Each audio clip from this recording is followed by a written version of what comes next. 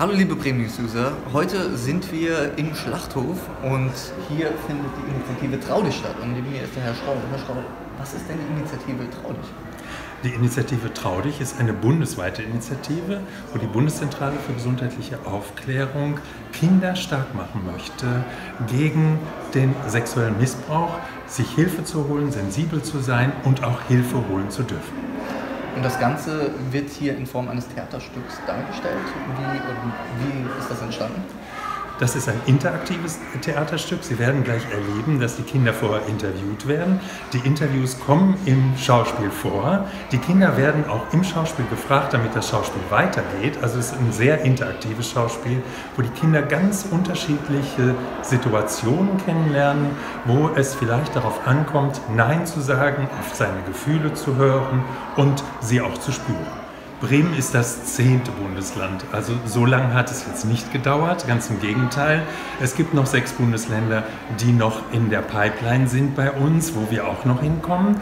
Also Bremen hat seit über anderthalb Jahren dieses Stück mit uns vorbereitet, das Netzwerk eingebunden, alle Beratungsstellen eingebunden, die Lehrer informiert und fortgebildet, aber auch Elternabende durchgeführt, denn ohne Eltern und Lehrer geht es nicht. Zum Beispiel, was man macht, wenn die Oma gerne einen Kuss von einem möchte und man das aber nicht möchte, aber trotzdem die Oma gern hat und lieb hat. Wie sagt man das der Oma? Nein sagen und trotzdem Ja sagen, dass man gerne bei der Oma sein möchte. Solche ganz praktischen Dinge erfahren die Kinder und überlegen, wie sie das am besten hinkriegen, der Oma das zu erzählen.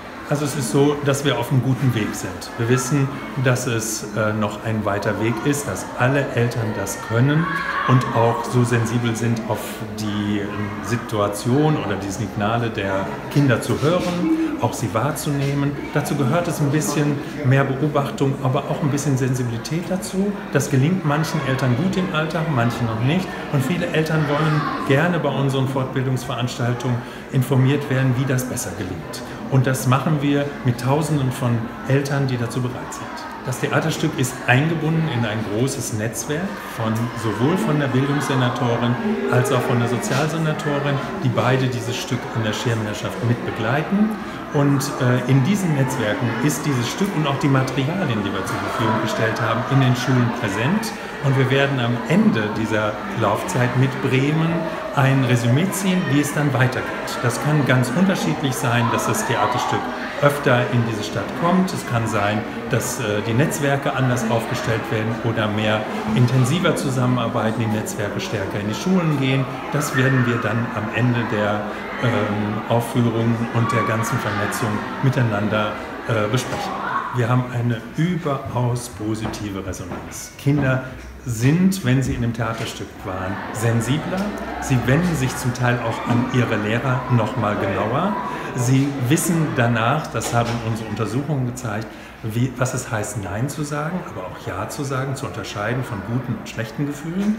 Sie wissen auch, ähm, sprachfähiger zu sein, überhaupt die richtigen Worte zu finden. Alles das lernen Sie in der Vorbereitung und im Theaterstück. Also ein Riesenerfolg. Und die Beratungsstellen kommen viel mehr in die Schulen, weil die Lehrer dieses Stück schon gesehen haben und merken, dass es hilfreich sein kann, die Beratungsstellen auch nochmal vor Ort in die Schulen zu bringen.